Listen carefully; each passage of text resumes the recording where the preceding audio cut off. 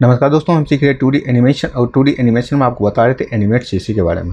तो चलिए दोस्तों, आगे बढ़ते हैं और आज की इस वीडियो में आपको दिखाऊँगा, ये जो मेरे स्क्रीन पे आप देख रहे हैं, ये जो डॉग चल रहा है, इस टाइप का एनिमेशन हम कैसे करते हैं, आज की इस वीडियो में आपको डिटेल से बताने वाला हूँ। तो चलिए दोस्तों, वीडियो स्टार्ट करते हैं।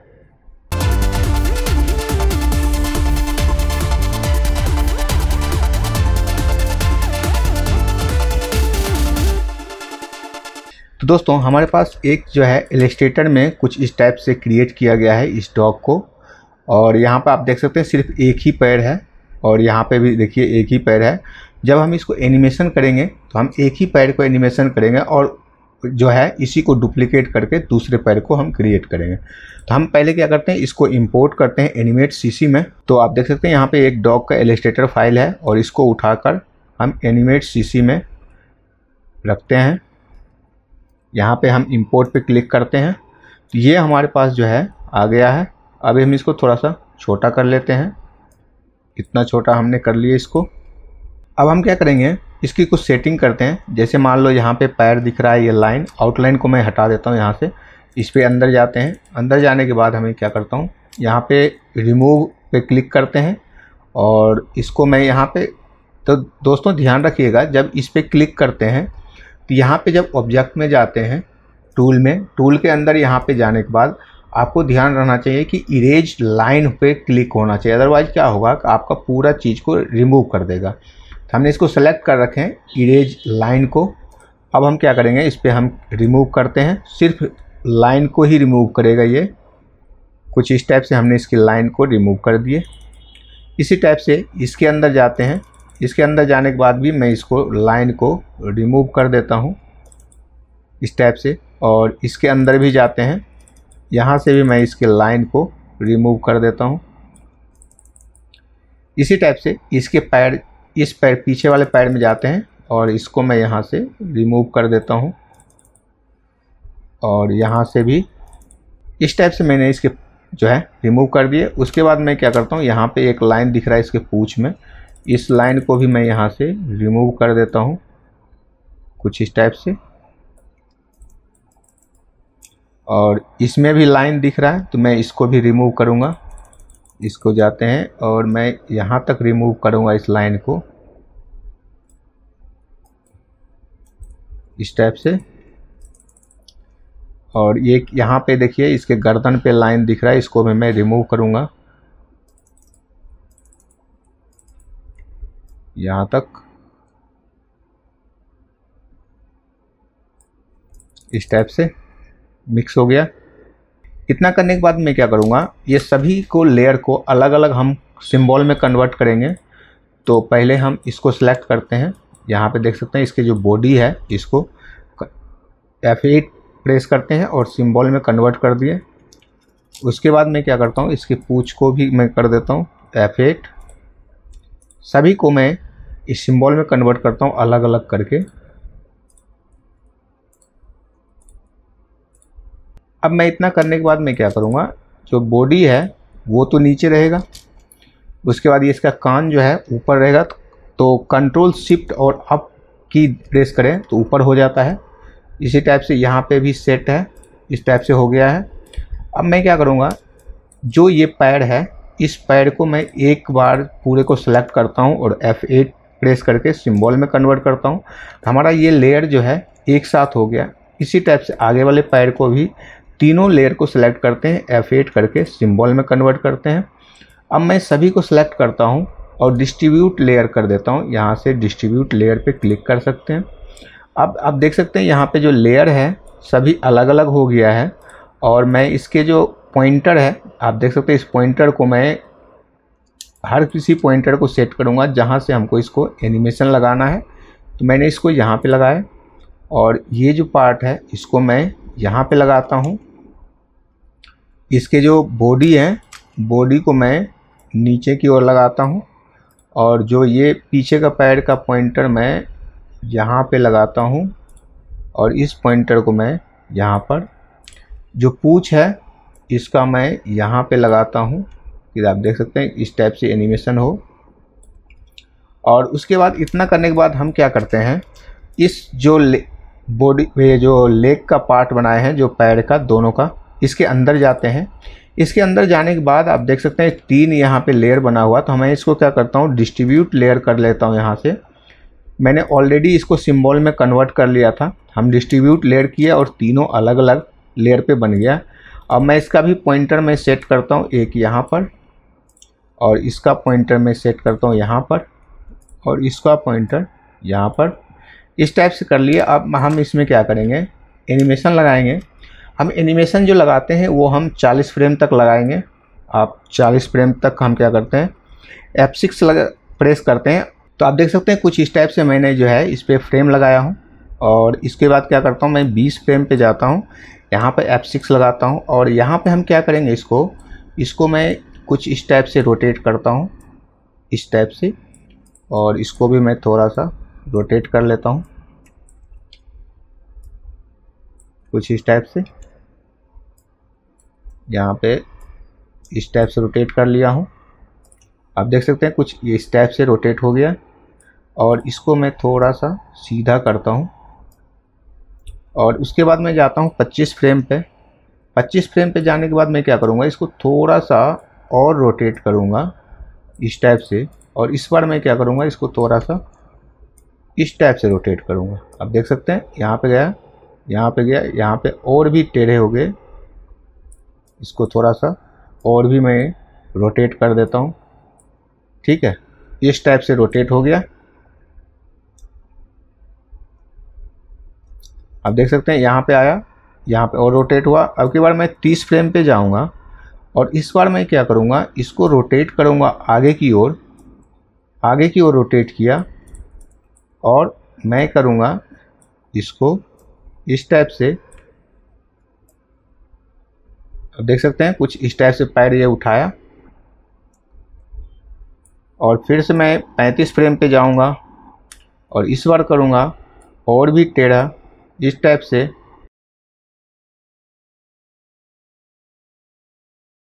अब दिखाता हूँ आपको, ऐसे गया ऐसे गया, ऐसे। अगर ऑन करके चलाता हूँ, देखिए। और इसको मैं थोड़ा सा सीधा कर लेता हूँ यहाँ पे। और सेम लेग को मैं यहाँ पे भी रखता हूँ। ठीक है? अब मैं इसको अगर चलाता हूँ, देखिए, कुछ इस टाइप से चलेगा। और मैं इसको क्या करता हूँ? क्लासिक ट्विन करता हूँ। अब देखते हैं। देखिए। और जहाँ पे प्रॉब्लम हो रहा है, उसको हम सही करेंगे। अभी देखिए, यहाँ पे सही है। यहाँ पे दिक्कत हो रही है और यहाँ पे। तो मैं जहाँ पे दिक्कत हो रही है, वहाँ पे सही करेंगे। यहाँ पे दिक्कत हो रही है। इसको मैं रखूँगा। यहाँ पर इसको यहाँ पर। अब देखिए, यहाँ पे दिक्कत हो रही है तो इसको मैं सही करूँगा। अब देखते हैं। यहाँ पे दिक्कत हो रही है तो मैं इसको इस टाइप से करूँगा।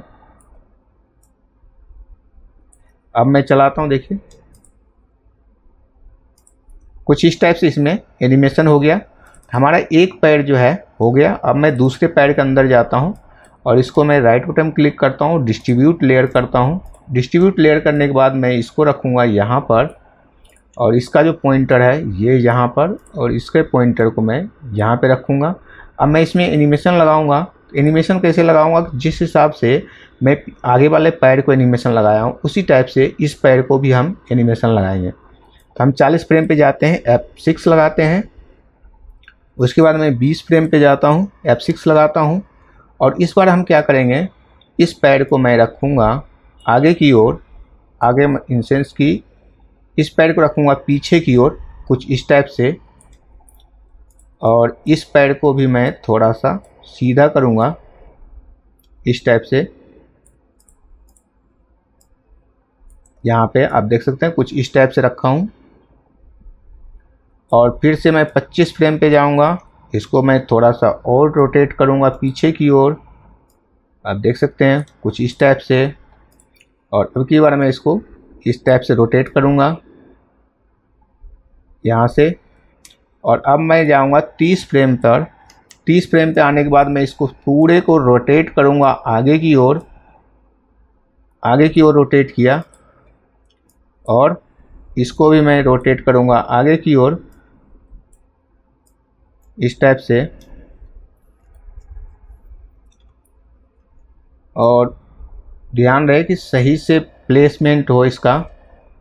आप देखिए, इस टाइप से, इस टाइप से, और फिर मैं 35 फ्रेम पे जाऊँगा, और इसको मैं रोटेट करूँगा और भी ज़्यादा इस टाइप से, और इसको रोटेट इस टाइप से। और यहाँ पे मैं इसको थोड़ा सा रोटेट कर दूँगा।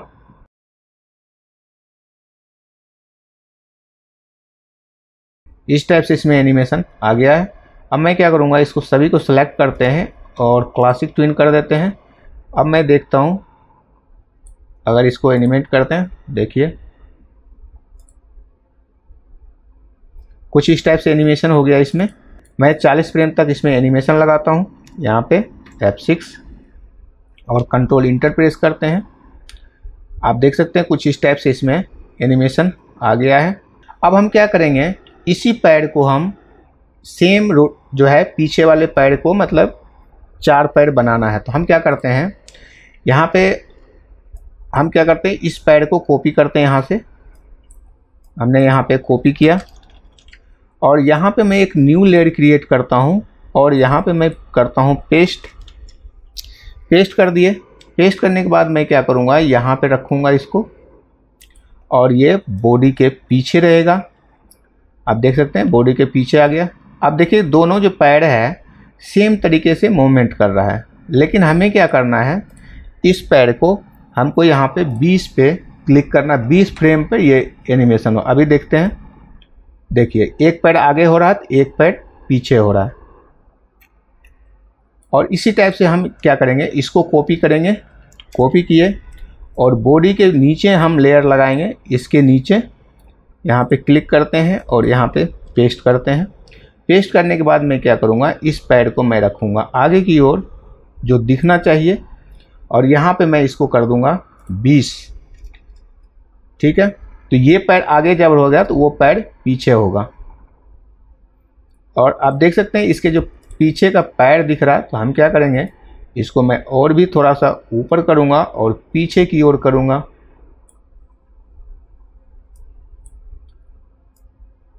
पीछे की ओर करूँगा। आप देख सकते हैं। अब मैं अगर कंट्रोल इंटर प्रेस करता हूँ, देखिए।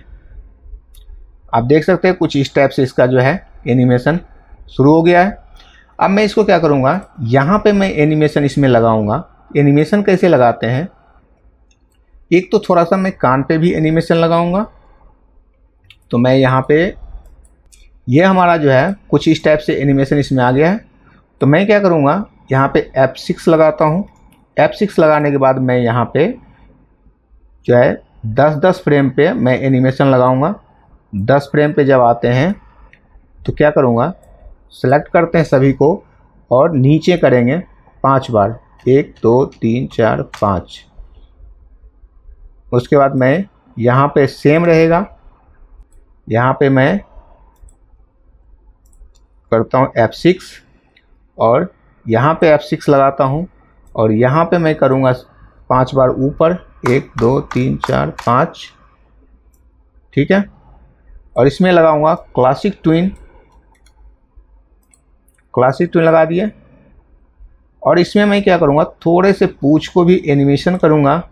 यहाँ पे जब आते हैं, यहाँ पे जब आते हैं तो इसमें मैं रखूँगा, नीचे की ओर,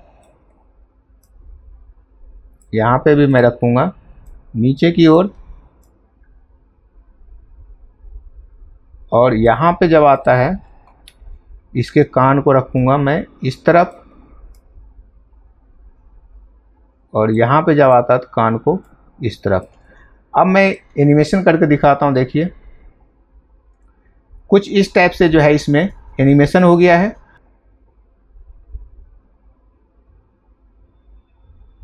अब मैं क्या करूँगा, इसके अंदर जो है एक बैकग्राउंड लगाऊँगा। तो बैकग्राउंड के लिए मैं क्या करता हूँ, एक सेलेक्ट करते हैं। मान लीजिए हमारे पास ये एक बैकग्राउंड है। मैं यहाँ पे एक न्यू लेयर क्रिएट करता हूँ। और यहाँ से मैं इस बैकग्राउंड को लेता हूँ।